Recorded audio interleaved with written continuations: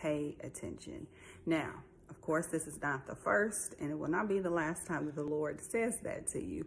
But what's important is that you recognize the timing of when he's saying it to you so that you understand how he's speaking it to you.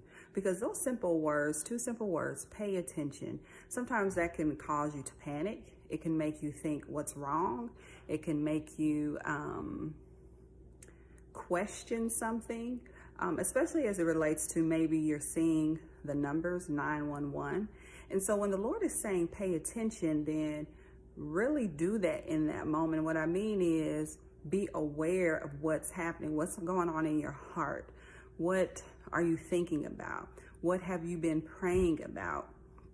Those types of things will point you into the direction that the Lord is trying to take you in, in your heart. And so for a lot of you, he's been showing you certain things, but you won't catch it if you don't pay attention.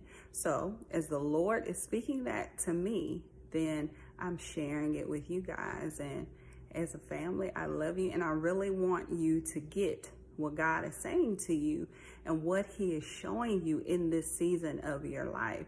So be more, ask the Lord this, say, Lord, open my spiritual eyes, open my spiritual ears, and help me to see and receive and to pay attention to exactly what it is that you're showing me